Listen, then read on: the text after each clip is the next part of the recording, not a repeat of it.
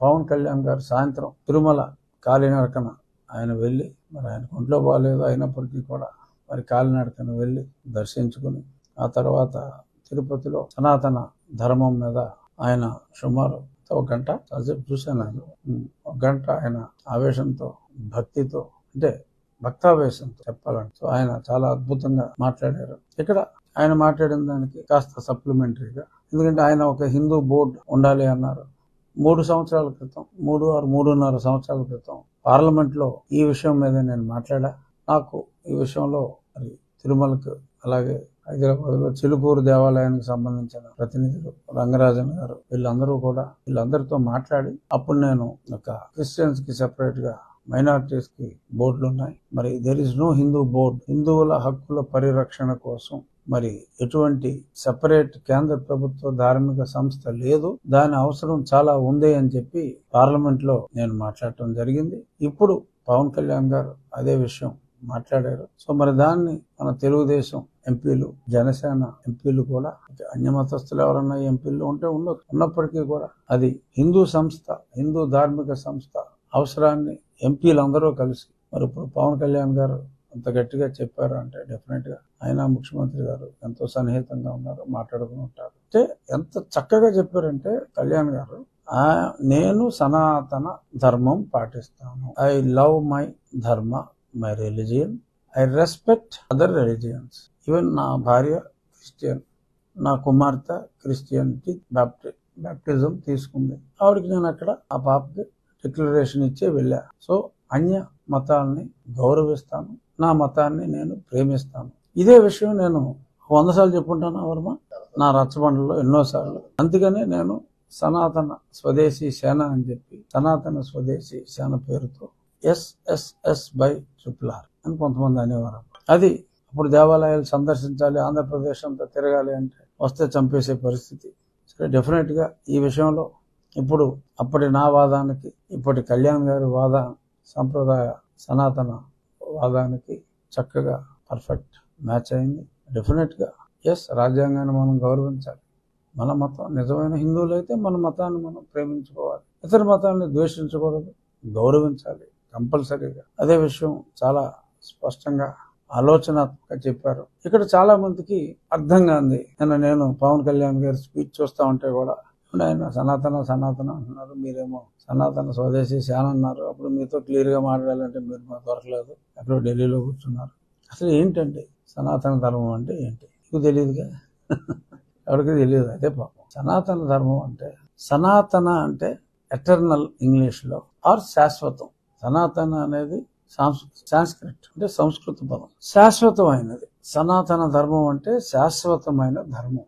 ఇక్కడ కొంచెం డీటెయిల్గా చెప్పాలి. ఎందుకంటే నిన్న కళ్యాణ్ గారు అంతే మాట్లాడారు కాబట్టి అందరికీ సనాతన ధర్మం సనాతన ధర్మం వస్తే ఏంట్రా అనేది అని చెప్పాల పూర్తిగా.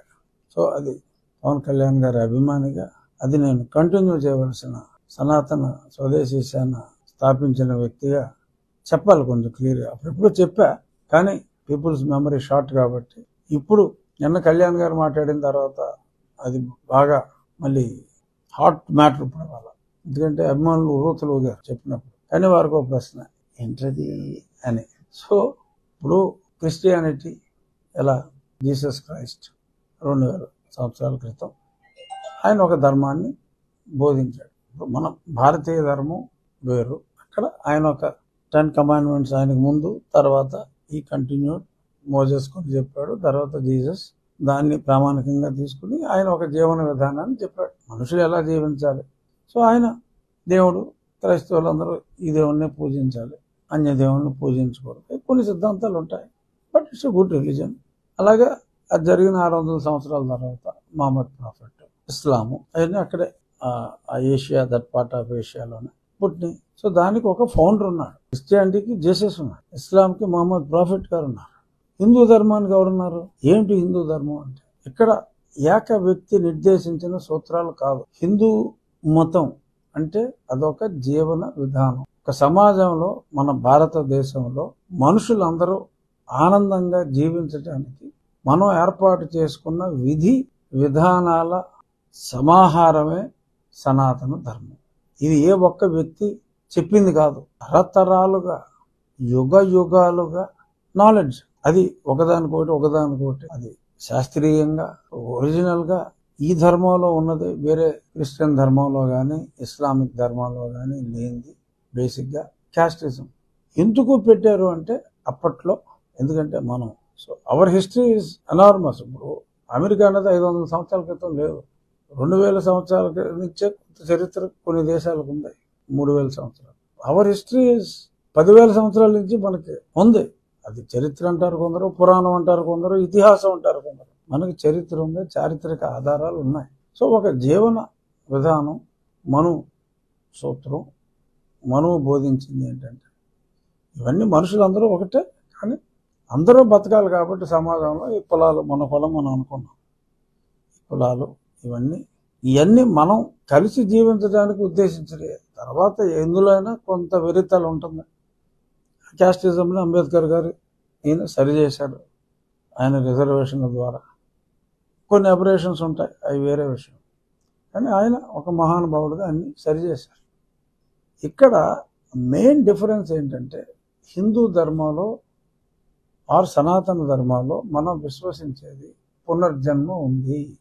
గత జన్మలో చేసిన పాపాలు మనల్ని వెంటాడుతాయి. ఇప్పుడు నువ్వు చేసిన తప్పులు వచ్చే జన్మలో అయినా నువ్వు అనుభవించాలి. ఈ పునర్జన్మ సిద్ధాంతం అంటే కర్మ సిద్ధాంతం. నువ్వు చేసిన కర్మ నువ్వు ఈ జన్మలో కాకపోతే వచ్చే జన్మలో అయినా అనుభవిస్తావు అనే ఈ కర్మ సిద్ధాంతం క్రిస్టియానిటీలో లేదు ఇస్లాంలో లేదు. పునర్జన్మ లేదు అక్కడ. స్వర్గంలో నువ్వు ఎంజాయ్ చేస్తావు అంటాం వేరు. హెవెన్ బ్యూటిఫుల్ గార్డెన్ ఈ కాన్సెప్ట్స్ ఇస్లాంలో ఉన్నాయి అక్కడ ఉన్నాయి.